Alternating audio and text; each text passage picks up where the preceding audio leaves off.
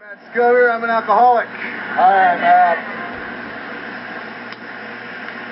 Feeling pretty good today. Because when I first came to this program about uh, a year ago, I know I didn't really believe this stuff. I didn't think any of it would really work. I wanted to believe it, but I couldn't. I uh, I live in a world I didn't make. I know that now. It took me a long time to, to come to that realization. I had to be really beaten into that reasonableness.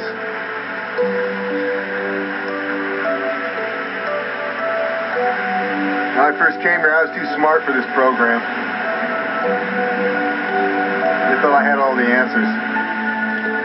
I had to keep coming back here time after again. I failed the program three times. I've been dry a month now.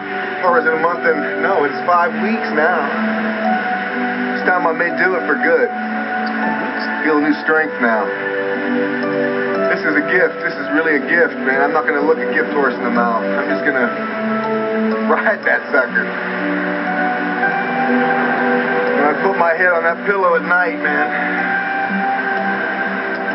And I fall asleep, I don't pass out. When that sun comes up, wake up, I don't come to.